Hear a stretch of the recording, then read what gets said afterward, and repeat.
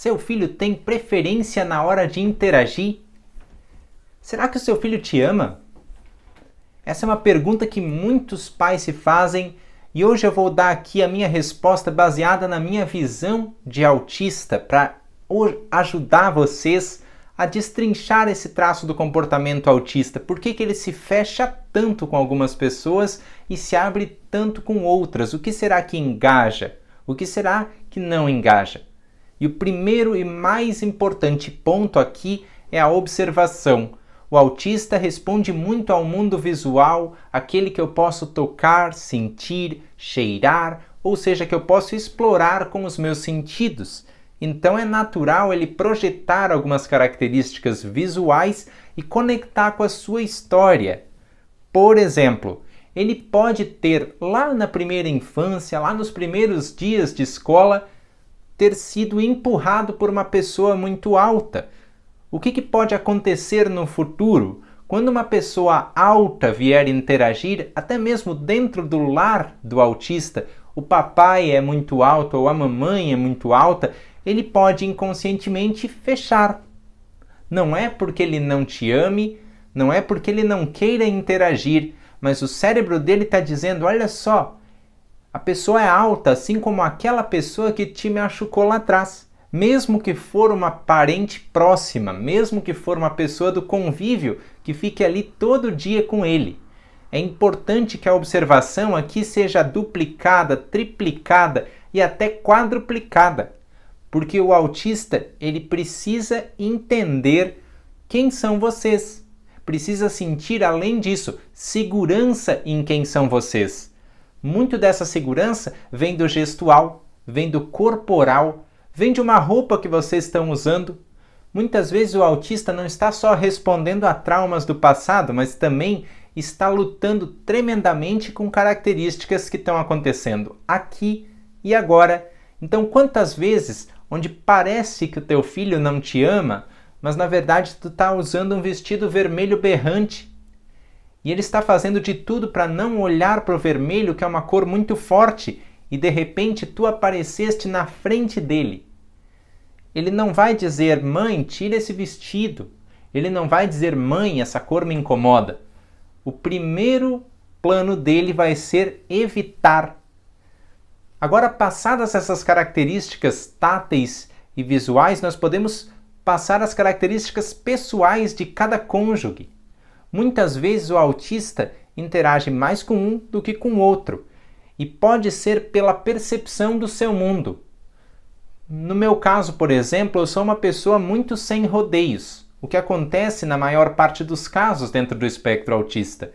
Eu não consigo entender tanto as sutilezas então eu estava conversando com a minha mãe e nós chegamos à conclusão de que eu interajo muito mais às vezes com ela, eu começo muito mais interações com ela do tipo caminhadas, do tipo corridas, do tipo andar de bicicleta, o quanto eu tendo a contar muitos dos planos para ela, enquanto que para o meu pai, não é que eu não queira dividir com ele os planos, eu quero e quero muito, mas por ele ser menos, uh, menos espivetado que a minha mãe, o meu inconsciente acaba por entender que há ali mais sutilezas.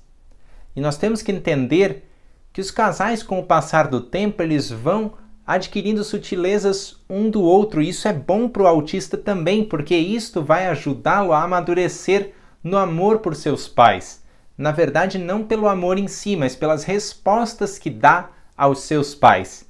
E vai começar a responder por igual, ainda que isso não seja totalmente assim.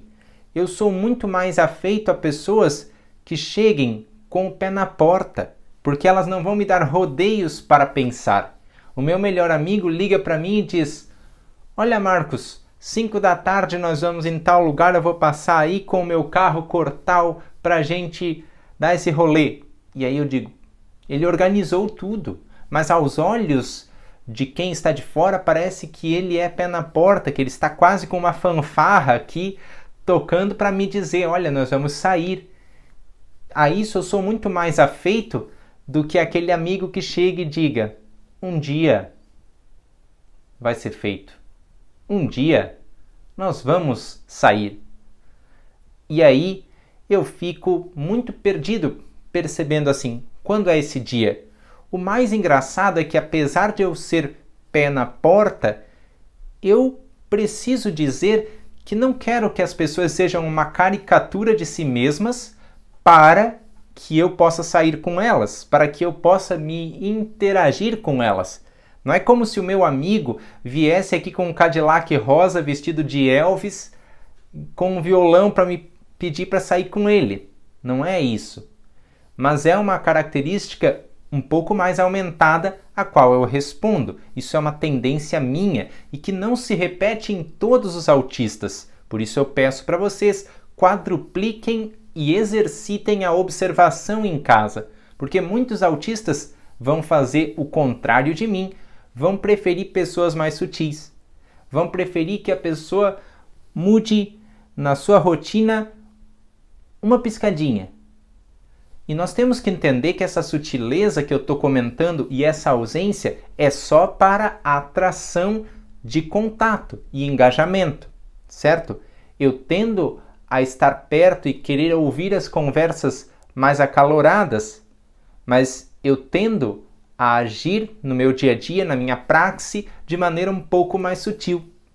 Dá para captar isso? A diferença entre interagir com pessoas, porque eu não vou precisar ficar prevendo o que elas vão fazer, e interagir no meu próprio espaço. Porque se eu não digo isso, as pessoas vão pensar: poxa, mas tu parece ser tão tranquilo como muitos amigos meus me veem, né? O fato é que sou sim, mas tranquilo com o ambiente, né? Eu, come, eu começo a ficar mais à vontade, mas para as pessoas eu preciso que aquele punch seja dado. Isso é tão veemente que eu hoje eu me conecto mais com as pessoas espivetadas. Mas assim, é diferente tu ser espivetado na sua rotina e tu ser desregrado. Isso as pessoas também que vão interagir têm que entender. Parece complicado, mas não é. O espivetado ele vai dizer como meu amigo: "Nós vamos na festa!" Claro, sem gritaria, mas apontando para os detalhes realmente importantes, né? E aí, uh, com o tempo eu vou me acostumando, certo? É bem diferente de a pessoa chegar e dizer vamos a algum lugar, algum dia. Já aconteceu de muitas mulheres uh, que eram legais e que começaram a conversar comigo uh, de maneira afetuosa mesmo. Uh, não responderem as perguntas que eu fazia de uma maneira tão conclusiva. E aí eu espantei a elas e espero não tê-las magoado, mas é porque eu me afeiçoo mais, até mesmo na parte afetiva, a pessoas mais punch, pé na porta, porque eu entendo tanto que isso não é um rodeio e isso vai me facilitar a relação e interação, como eu entendo que tem algumas coisas onde eu preciso de maior decisão e preciso aprender com o outro. Esse é todo um olhar que eu posso desenvolver ao longo da vida, mas de nenhuma maneira isso é eu amo mais pessoas espivetadas do que pessoas não espivetadas. E a gente tem que parar e refletir. Espivetado não é também caricatura, porque muitas pessoas vão pegar esse conselho que eu estou dando e subir o tom cada vez mais até tornar-se um espírito caricato, um espírito praça é nossa, zorra total, e não é isso, certo? Assim como eu disse, não é se vestir de Elvis, se vestir de Kiss e vir aqui tocar violão, não. É vir tocar violão e dizer a que tu veio, certo? Mas claro, eu também entendo outros lados, mas como eu falei, tem autistas que preferem mais sutilezas. E para ilustrar esse último exemplo, eu vou contar para vocês uma historinha, um caso que aconteceu durante um dos eventos que nós damos pelo Brasil um menino chegou lá e os pais dele disseram: opa, esse aí não abraça ninguém, porque ele não gosta. E aí de repente a minha mãe foi chegando perto, foi se abaixando, foi olhando nos olhos do menino. O menino pegou e abraçou ela. Todo mundo ao redor, pessoal, ficou. Como ele fez isso? Nunca faz. Mas era um menino que gostava de pessoas menos mais sutis, aliás. Então a minha mãe, sem gestos bruscos, foi fazendo as sutilezas, foi acompanhando o ritmo do menino no seu aprendizado daquele novo ambiente e o abraço aconteceu. Vocês vejam como esse aprendizado é de formiguinha. Essas dicas que eu dei para vocês são só observações preliminares. O que vai acontecer no contato com vocês e os filhos vai depender dessa observação. Ser sutil, não ser sutil, tudo vai da personalidade de cada pessoa. Eu sei que é muito mais difícil do que uma pessoa neurotípica. Principalmente se o autista for pré-verbal, ainda estiver aprendendo a encaixar os sons, falar e expressar. Mas confiem que vai dar certo e compartilhem esse vídeo para mais famílias terem acesso a essas reflexões, a esses comentários e possam praticar. Deixem nos comentários aí se vocês são mais espivetados, se vocês se vestiriam de Elvis para vir aqui cantar comigo, se vocês não se vestiriam de Elvis, vestiriam de outro artista, se tudo isso que eu falei para vocês faz sentido de alguma forma. Espero ter ajudado o dia de vocês e alegrado também com esse ritmo mais leve. Um grande abraço, fiquem todos bem, se cuidem. Tchau e até um próximo vídeo aqui do Diário de um Autista.